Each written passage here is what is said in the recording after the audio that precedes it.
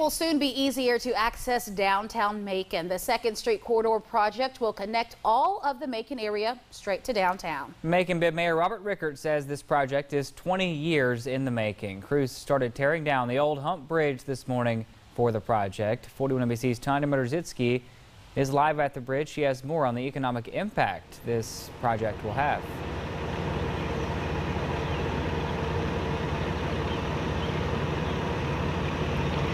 Right behind me is where the old hump bridge used to be. Take a look at that.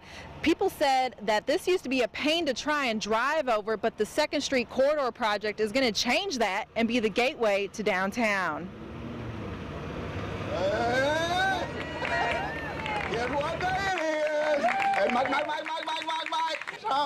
Hump Day, a day people usually refer to the middle of the work week. But this hump day has a different significance. Crews are tearing down the old hump bridge at 2nd Street and Little Richard Penniman Boulevard.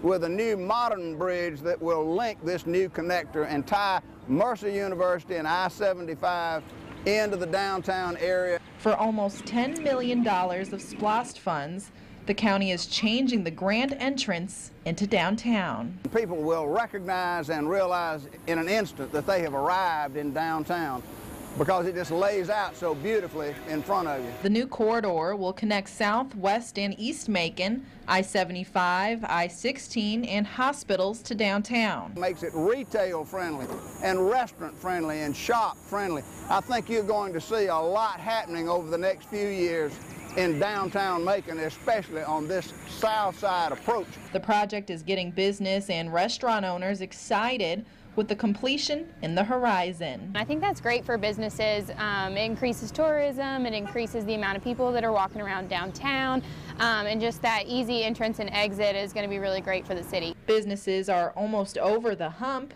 of construction on 2nd Street. It is a little bit of um, a challenge at times, but it'll be worth it in the end.